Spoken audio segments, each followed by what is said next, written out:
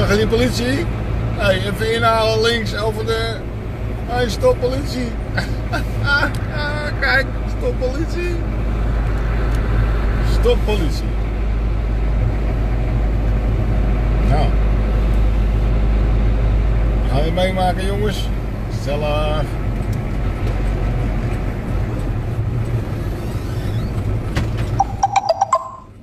Altijd leuk.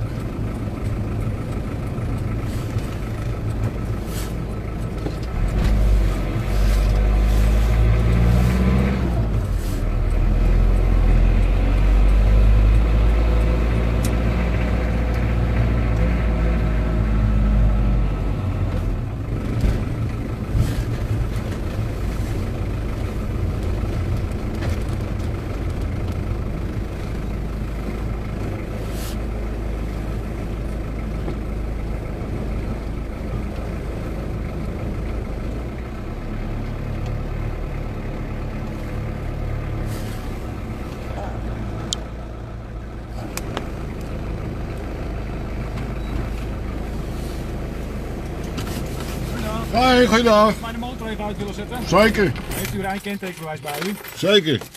Zit u alleen in het voertuig? Jazeker. Ja. Maar je mag erbij, hè? Mag ik, mag ik erbij? Zo. Zeker. Ik was even benieuwd of er niet toevallig nog meer mensen in de voertuig zaten die eh, geen goede zitplek hebben. Dan eh, moet, ik, u- moet u ze gelijk arresteren, want dan is het huisvredebreuk. Oké. Dit is mijn huis. Oh echt? Ja, ja ik, ik ben het niet eens met de staat waarin we leven. We leven in een financiële fa- fascistische dictatuur. Mhm. Eigenlijk een beetje gesupport door jullie, als ik eh, zo eerlijk mag zijn. Dus ik, eh, ik woon in een camper, Mhm. want ik wil geen adres meer waar ze me lastig kunnen vallen en kunnen afzetten. En De overheid is eh, een terroristische organisatie en onderdrukt mensen, financieel gezien. Zou ik ondertussen uw rijkenteken Zeker, zeker, zeker, zeker. Dus dit is mijn huis. Er is geen andere mogelijkheid meer. Ik had gezien dat u als een verblijfplaats in Gies, ehm Giesendam, Ja. Hartsveld, ja. Ja. Maar, Eh, daar, dat is puur de postadres voor u? Of? Ja. nou, het is niet mijn auto. Oké, nee, dat snap ik. Ja. Mooi. Nee, maar ja, ik weet niet van, ontvangt u nog post ergens? Heeft u een postadres? Nee, wil ik niet. Nee, oké. Nee, want dan krijg ik post voor jullie. Oké, ja. En eh, ik heb zo verschrikkelijk veel schuld door mijn harde Ja. werken. Nou, ik ieder geval zeggen, op het moment kom u bij ons niet van tevoren naar, naar boven alsof u openstaande boetes had. Nee, maar jullie doen nou waarschijnlijk Michel Vitality. En dat, daar ben ik niet. Kijk. Ja. Ja, ik heb inderdaad. Ja, ja. Nee, want ik ben helemaal open, eerlijk en transparant. Alleen ik ben het niet eens met hoe, eh, hoe de maatschappij nu eh, is, is, eh, in stand is eh, Ja, dat, gezet. dat het mag. Er zijn er meerdere die het. die het Gelukkig wel. Gelukkig vallen er steeds meer mensen op. Mhm. Dus ik heb ook helemaal niks tegen u als persoon. Ik u heb, alleen, ik Ja. heb alleen iets tegen de, de, de coöperatie waarvoor ik Ja, dienstbaar ja, ben. nou ja, goed. Dat is, het is goed dat u dat aangeeft. Ja, nou ja, dat is. Dat is ik ben voor de waarheid en de eerlijkheid. Oké. Hey, dan, dan ben ik wel even benieuwd eigenlijk van, nou ja, we hadden het net over meneer Vitali. eh, Ja? Waarom rijdt u dan in een voertuig die op zijn naam staat? eh? Omdat ik niks op mijn naam kan hebben. Ik heb niks. Ik heb geen bezittingen. Hij, hij gunt mij deze mogelijkheid. En, eh, ja, precies, want als u boetes rijdt, dan neem ik aan dat ze op zijn adres. Ja, maar de- ik, ik ben, ik ben voor waarheid en eerlijkheid. En dat betekent dus als ik een boete rijd, dat ik er verantwoordelijk ja, voor ben. Precies, precies. Kijk, ik ben anarchist. Mhm. En dat betekent dat ik u niet nodig heb, maar mijn eigen verantwoording neem. U bent eigenlijk, bent u, in de, de, de- bent u er om de mensen een beetje op hun verantwoordelijkheden te Zeker- wijzen. Zeker weten. Alleen ik vind persoonlijk dat iedereen die voor zichzelf moet Ja, kijk, nemen. Dat, Want dan dat, bent u zou, dat zou ik ook heel fijn vinden, Ja, maar goed, ja. Dat, de, ja, dat is natuurlijk niet altijd het geval. Nou ja, dat komt omdat mensen denken dat ze op een bol in de ruimte wonen. Hè, mensen is verteld vanaf, vanaf één jaar af dat de aarde een bol is in de ruimte en dat alles toeval is. Maar de aarde is vlak en de aarde is bewegingsloos. Ja, ik heb er wel eens in gedoken, maar ik, ik blijf daar moeite mee houden. Wat dan? Nou ja, goed. Je ja, staat stil. j- Jawel, vooruit.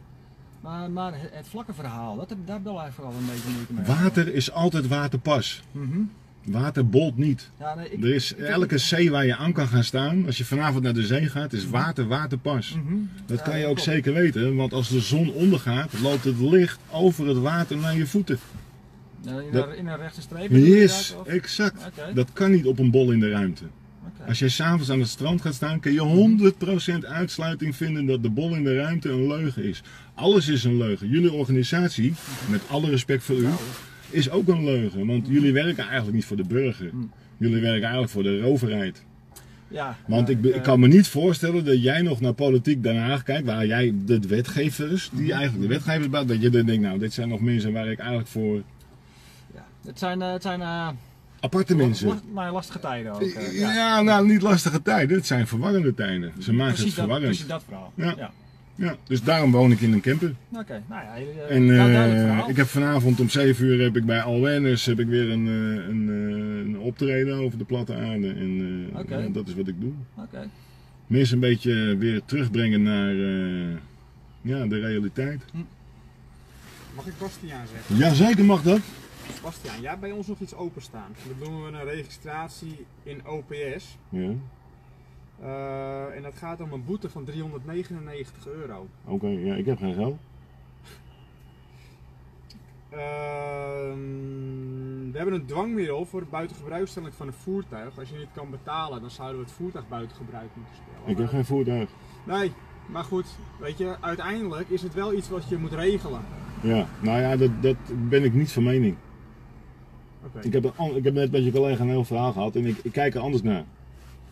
oké.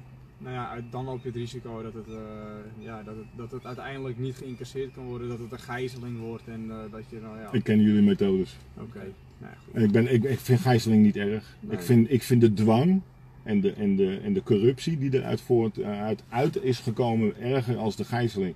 Jullie kunnen me niet gijzelen. Jullie kunnen alleen mijn lichaam kunnen jullie in gevangenschap plaatsen. Zo kan je Maar mijn, mijn kan je niet gijzelen. Want Nee. ik zal jou altijd zien als een liefdevol wezen die, die dat eigenlijk helemaal niet Die- wil. Die vervangende gevangenisstraf, dat is dan wel de straf die er zal volgen.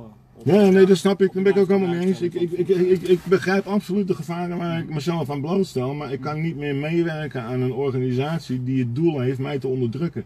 Oké. Nou ja, goed, weet je, dat is jouw eh, perspectief en dat is, dat is prima, dat maakt ook niet uit. Maar alleen ik wil je er wel op attenderen. Ja, dat snap ik. iets op boven je hoofd hangt. Da- dat is de enige de reden waarom ik deze situatie heb. Ja. Ik, kan niet, ik kan niks anders. Ik kan geen adres krijgen, ik kan geen uitkering krijgen, ik kan helemaal niks meer. Nee, oké. En dat, en dat, dat gaat steeds meer mensen gebeuren. Want boetes van 390 euro, dat gaat nergens over. Nee, nee, kijk, wij maken De ook de boetebedragen niet, hè? Nee, maar, nee, dat snap ik wel. Maar op het moment dat jij naar iemand met kinderen in een auto een bekeuring eh, moet uitschrijven van 130, 140 euro, waarvan je van tevoren al weet dat ze het niet kan betalen, dat, is natuurlijk, dat, Ja. dat, dat, dat, zit jij ook wel eens te schrijven, dan denk je ook wel eens bij jezelf van. Ja, eh, maar goed, er bestaat ook een discretionaire bevoegdheid, hè? Wij kunnen daar altijd een afweging in maken of we dat wel of niet doen. Tuurlijk, dat snap ik. Maar dat zijn jullie. Maar er zijn heel veel mensen die hetzelfde pakje aan jij als jullie, die met wat meer rancune en haat naar mensen eh, eh, 's morgens naar hun werk gaan. Dat weten jullie zelf ook. Jullie hebben ook collega's dat je denkt van nou, nou, nou, nou. Ja, je hebt overal. Wij zijn, zijn ook mensen. Nou ja, dat, dat is ook wat ik waarop jullie op aanspreek. Ik zie de pakjes wel, maar ik, ik reageer er niet op. Nee. Snap je? Ik zie jullie als mens en ik, ik leg jullie helemaal eerlijk aan uit wat er aan de hand is. En ik, heb, ik weet dat ik dingen open heb staan en ik weet dat ik vrijheidsberoving, maar ja. Oké. Hey, wij moeten door, want we krijgen een andere mail. Oh, ja, Ehm, snap ik. Nou, hou het even. Ja, ik heb het je gezegd, dus je weet, eh, je weet het Ik van. wist het al. Oké. Maar daarom zei ik al tegen je collega, ik ben niet degene die jullie door het systeem hebben gehaald. Want dat doe je op basis van kenteken. Ja, maar en dan nou, woon ik in Giesendam, Arnixveld. Ja. En daar woon ik niet. Nee, Ik woon hierin en ik heb, krijg de mogelijkheid van iemand om dit te gebruiken. Oké. Nou, ik wens je het beste. Graag gedaan jongens. Oké. En veel succes. Ja. Hoi hoi.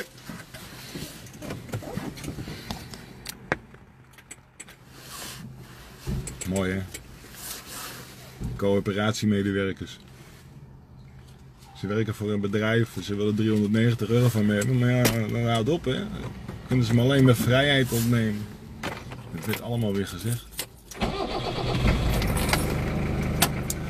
We gaan weer rijden jongens. Dank jullie wel.